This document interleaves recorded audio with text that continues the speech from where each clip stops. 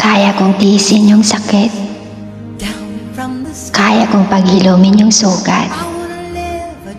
Kahit makirot at kahit mahapdi. Sanay na ako sa ganitong aspeto. Na bukas o makalawa ay mawawala rin ito. Kaya kong tiisin yung lungkot.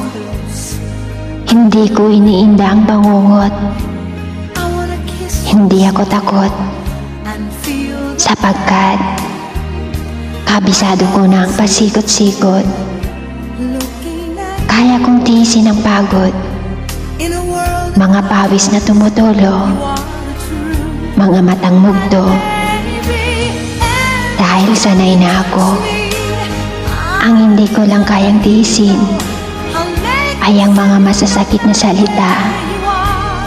Kahit gaano pa ako kasanay, kahit ito'y kabisado ko na, madalas ito ay nagmamarka ng malalim na sugat dito sa puso ko.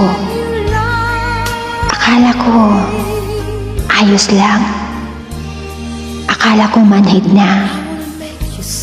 Akala ko sanay na. Masakit pa rin pala.